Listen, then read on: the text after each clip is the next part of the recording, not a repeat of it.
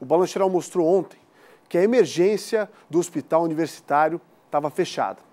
Por isso, a repórter Fabiane Paza vai trazer agora informações para a gente atualizar esses detalhes. Fabi, continua fechada, está complicada a situação. Dê para a gente o posicionamento do pessoal da direção também, se possível. Pois é, Polita, a gente vem para atualizar, mas infelizmente não temos novidade nenhuma. A emergência adulta segue com os atendimentos suspensos por causa da superlotação, é o que afirma a direção do Hospital Universitário aqui de Florianópolis. Para conseguir atendimento por aqui, não é nada fácil. Eu vou conversar agora com a dona Maria, que veio de Lebon Regis, 400 quilômetros de estrada até Florianópolis. E não foi fácil para vocês conseguirem atendimento para o seu esposo, né, dona Maria? Difícil, meu Deus, foi difícil. A gente chegou aqui, era 5 e meia da manhã, e com ele já com dor bastante, né? A gente estava indo embora, estava voltando para casa sem solução. Mandaram-nos procurar outro hospital que estivesse atendendo, porque eles não tinham, né? Mas daí quando a gente estava aqui na rua, já eles foram atrás, que é para voltar aqui na casa dele, a médica ia atender bem rapidinho. Tanto que ele está lá até agora, porque a casa dele era séria, né? Para estar sete horas lá dentro do hospital, né? de emergência.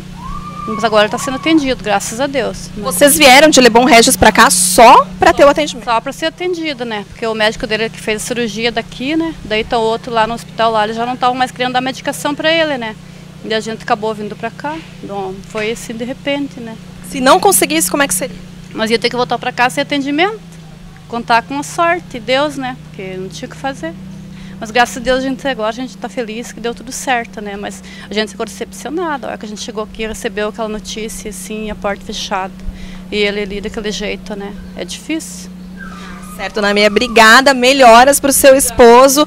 Agora, assim, o caso da Dona Maria é uma exceção, Polito. Viajaram 400 quilômetros até aqui e, por conta do estado crítico que ele se encontrava, conseguiu ser atendido. A realidade, para a grande maioria que chega aqui na emergência adulta do Hospital Universitário, é dessa aqui que a gente está vendo. Portas fechadas, o aviso de emergência adulta fechada por conta da superlotação.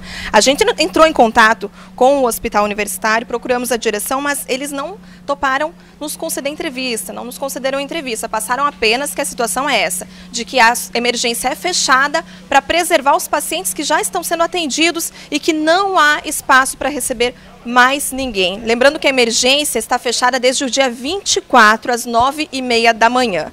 A emergência pediátrica e também a de gestantes também chegou a ficar fechada, Polito, do dia 25 até ontem à tarde. Mas ontem a universidade postou uma nota informando no, no próprio site que os atendimentos estavam sendo normalizados. Então, hoje, na emergência aqui do HU, a única coisa que está funcionando, que está aberta ao público, é a emergência pediátrica e obstétrica. Aqui, emergência adulta segue de portas fechadas e, infelizmente, por tempo indeterminado.